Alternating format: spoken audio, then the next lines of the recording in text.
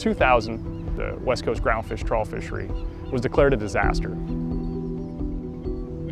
Catches were, were terribly low. Fishermen just couldn't make a go of it. There were too many fishermen chasing too few fish. Every fisherman basically had an incentive to go out and catch their full trip limit as efficiently as possible. And that didn't take into account things like trying to avoid uh, juvenile fish, undersized fish. We've turned that completely on its head with a new management system. Fishermen, NGOs like EDF, and managers got together and, and, worked on a better way to manage the fishery. And in 2011, they implemented the catch share program. Since that time, we've partnered with the fisherman Joe Pennisi out of Monterey to test some new trawl gear. He's now trying to avoid juvenile fish, unmarketable fish, because if he catches them, whether he discards it or not, comes off his quota.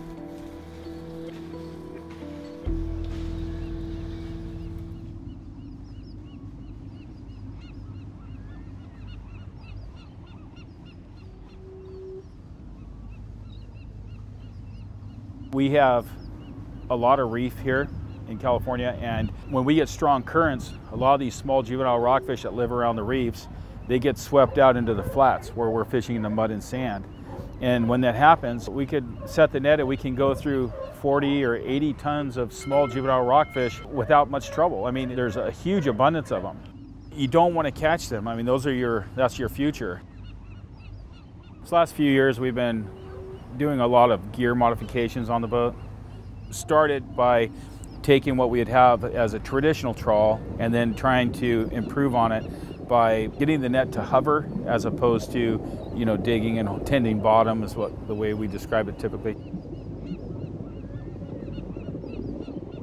So what we've done is we've taken all the weight off the bottom of the net and got rid of all the chain and so now what we do is we pull the net really tight and it causes the net to barely touch the seafloor. It just hovers. It'll just touch here and there.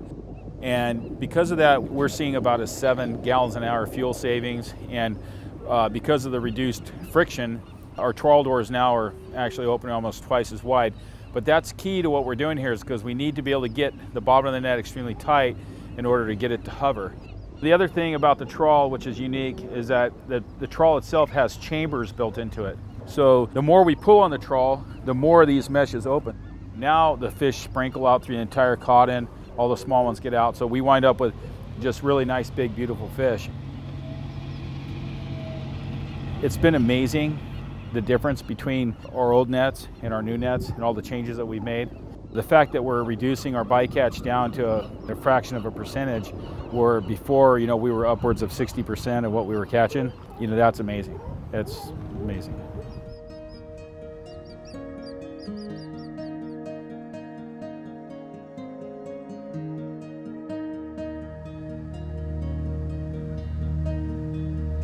We're out here today aboard a collaborative fisheries research vessel called the Donna Kathleen, deploying an ROV as part of a larger project to understand the impacts of different bottom trawl gears on the seafloor.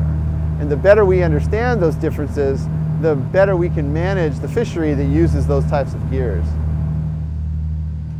Fisherman local to Monterey named Joe Pennisi just spent the last week using both this modified gear and the traditional trawl net, fishing along lines that we provided to him, which we had sampled with the ROV before he went in the water. He's now done the trawling and we're going back out with the ROV to um, quantify different attributes of potential impacts to the seafloor.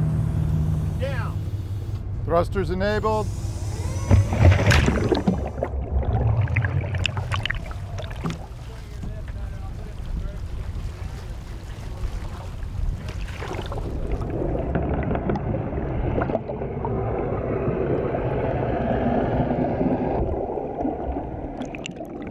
There we are, there's the bottom, there's the seafloor. So we're gonna hit bottom at about 135 meters and then taxi over to the beginning of the transit line. So water temperature's uh, about nine and a half degrees centigrade, depth is 134 meters. Seafloor looks like when we left it last. Yeah, it does. So right now we're in the trawl plot that was trawled with the modified gear several days ago. and there's yet to be any obvious indicators of impact from that trawl in our video imagery. To be careful though, the human eye likes to see patterns or the absence thereof, and so we have to be careful about our first impressions. Uh, we really won't know anything definitively until we've had this video and still photos back in the lab and had a chance to analyze the totality of the data.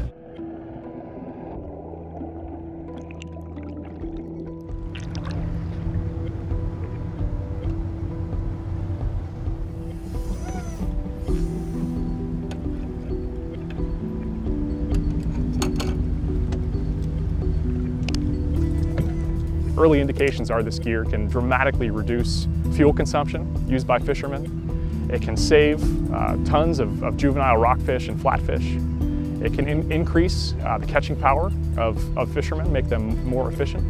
I really want to make sure that the results here, which look like they're tremendously uh, promising, get translated um, and, and spread, disseminated throughout the fleet. We'd like to make sure that everyone is aware of, of this gear, what it can do, and has the opportunity to, to really learn more about it and take advantage of it. So our vision is, is twofold here. First of all, that, that we can really disseminate the innovations occurring on the West Coast, uh, in Alaska and beyond, to enhance those economic and biological outcomes, really spread those through. One of the, the challenges we saw was that there was a lot of exciting innovation occurring. I think the, the second thing is, is maybe a little bit more amorphous. I think we're hoping to create networks and connections of folks, of, of researchers, of managers, of fishermen that can uh, exist and continue well beyond this workshop. I don't want to catch this size fish because I don't get any money for it. I want to catch big fish. So I changed the size of the web in my codend. I change the size of my web up front. I take the top off of my net and let the rockfish go if I want other things. And the juveniles, you have to use bigger mesh. You might speed up, slow down, speed up, slow down. There's just a myriad of simple little things a guy can do. This innovation, gear innovation is just a, a critical part of it. You're seeing gear that, that eliminates small fish, eliminates unwanted fish, eliminates bycatch, and this is that one tow where we estimated we had probably a little over 40 tons going through the net in about an hour and a half. So, you know, there's a fair amount of volume here. And um, when we when we hauled back and then we had delivered, we had delivered uh, 4,700 something pounds. So, so the net sorted all these fish that quickly in an hour and a half. It sorted, you know, 40 tons plus. And the sand dabs that were retained were all over 11 inches. I mean, for the most part, I, you know, they were all just really nice fish. This is a very fisherman-oriented conference, which is a nice difference. A lot of fishermen, when you talk to them, they're really, they really have to be conservative and not try, not change things too fast. But a lot of these, the guys we're talking to here are, are really making a, a lot of effort and taking some risks, trying something different, and, um, and it seems to be paying off. I'm, I'm impressed. I thought it would be great if we could get together, and here we are. And everybody in the workshop is like, wow, it's so cool that we're all together. And I mean, the ideas bouncing around in all of our heads right now are just wow. I think one of the remarkable advantages that, that has happened through the, this process is that we're now working with the environmental groups. Um, and it's, it's, it's just like I said, back in the day, nobody ever expected that we would, we would be going down this road because we were at each other's throats. And now all those relationships we've developed over these last few years have opened up great opportunities for, for both fishermen, I think, and environmental groups.